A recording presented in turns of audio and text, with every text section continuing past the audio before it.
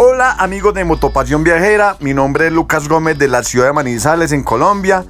Hoy los voy a llevar por la ruta de la energía.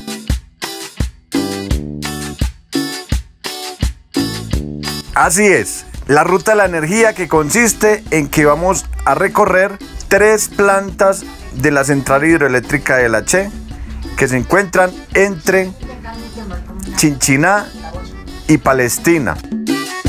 Aunque la generación de energía por parte de la Che en la toma del agua se inicia en Chinchiná, en la boca toma de Montevideo, nos centraremos en la ruta que inicia en la vereda La Ínsula y iremos hasta cuando se entrega el agua en el río Cauca en la central de San Francisco.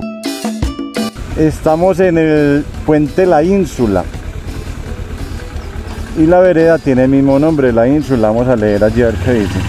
Ruta de paisaje cultural cafetero, ruta de la energía. Sumérgete y da vida a tus sentidos al conectar con el proceso de la generación de la energía. Fluye durante esta experiencia al interactuar con la comunidad y sus diversos oficios. Recárgate de emoción al explorar la majestuosidad de nuestro territorio. La ruta de generación de energía está compuesta por tres centrales, La Ínsula, La Esmeralda y San Francisco.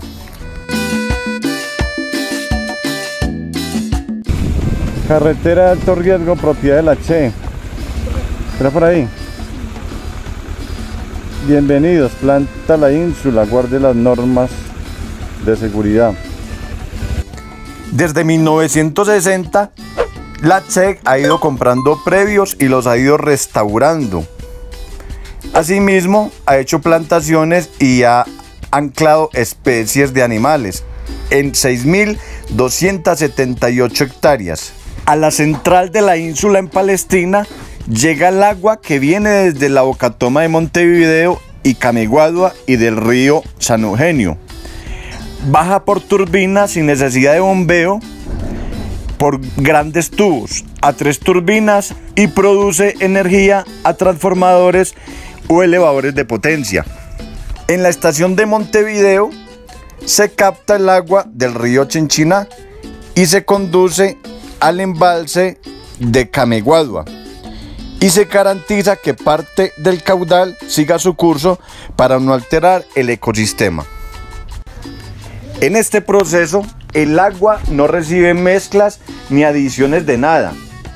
Mueve las turbinas y sigue su marcha hasta la Bocatoma La Esmeralda.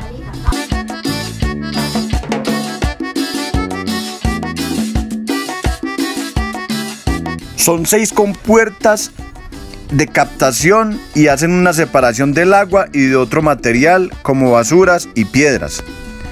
En este proceso, al pasar por turbinas, el agua gana oxígeno. A través de canales y saltos escalonados, disipa la energía de caída para que ingrese al embalse.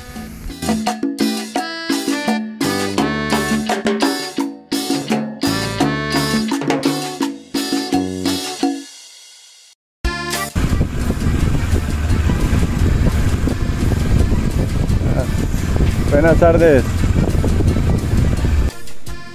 Canal trapezo, trapezoidal morro azul.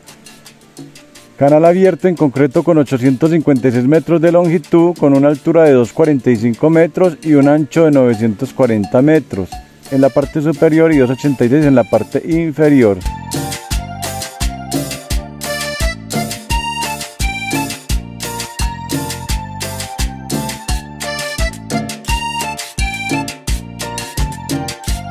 Huele como a café. Vea pues lo curioso, la presión del agua hace que haga como una especie de canoa, luego vuelva y suba aquí, pasa bajo este puente, hay unos pajaritos muy bonitos. Y vuelve y toma este rumbo. Por eso se llama la ruta de la energía. Qué especial esta ruta. Recomendadísima. Sifón Las Mercedes. Tubería en concreto con 90 metros de longitud y un diámetro de 2.40 metros. Toda esta ruta de la energía se convierte en un corredor paisajístico, formando así unas sensacionales vistas panorámicas.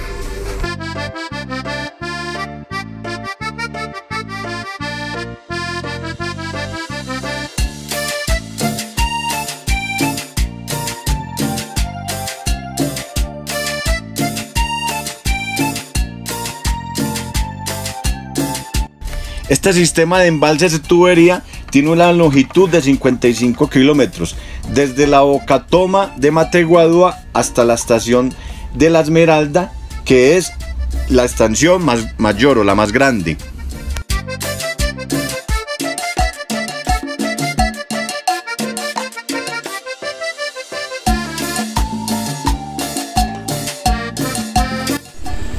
Canal abierto Esmeralda, conducción de 13 kilómetros de recorrido, iniciando en el sector conocido como el barco, hasta la, la roja, donde se ubica el rastrillal.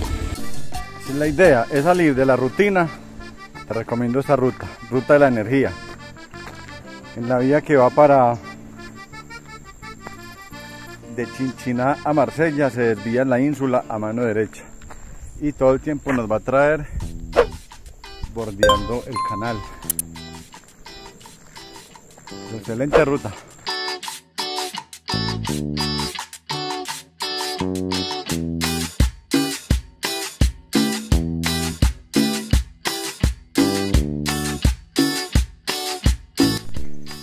Aquí tenemos un árbol o un palo de cacao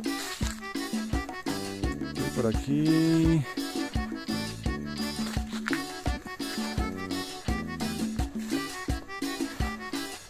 Desde por aquí.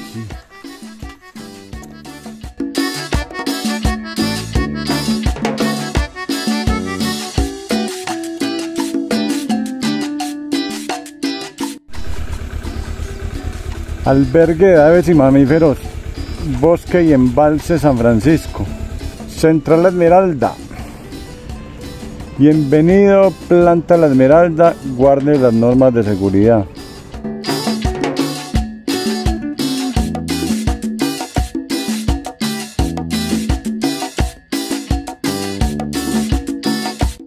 Como para tirarse en tobogán.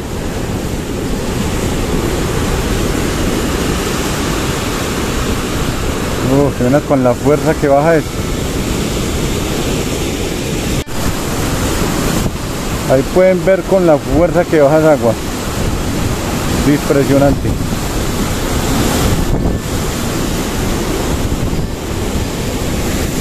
Y va a dar por allí donde ya les mostré.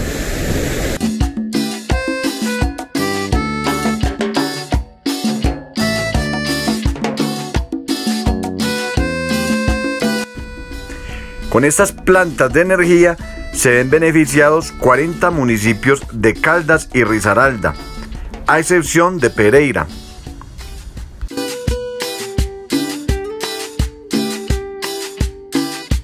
En todas las zonas aledañas al embalse San Francisco.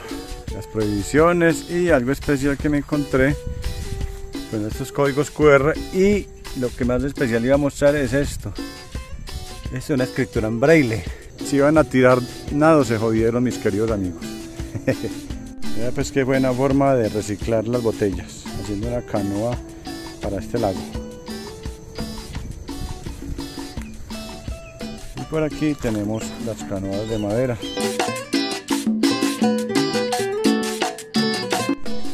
Mucho, mucho, mucho calor.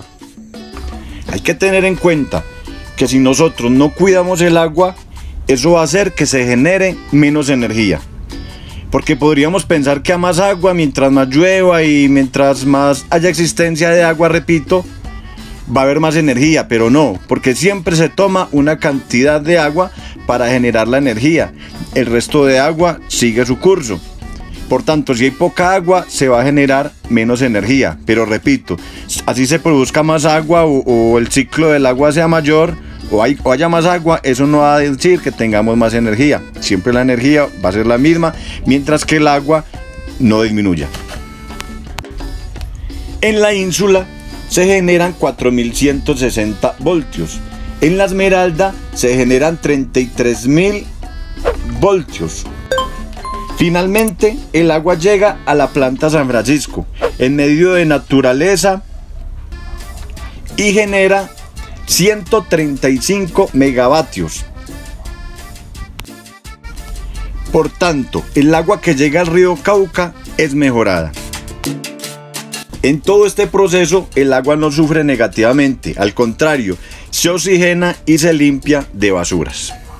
El embalse desemboca en el río Cauca. Por allá pasa con mucho más caudal el río Cauca en el fondo. Espero les haya gustado este video. recibo todos sus comentarios. Adicionalmente, recibo sugerencias de rutas. Si te gustó, dale manita arriba. Adicionalmente te invito a que actives las notificaciones. No solo lees a la campanita, sino que a un lado dice todas, que marques todas. Y que aún no te has suscrito. Eh, mosca pues. Y recuerda que viajar le agrega vida a la vida.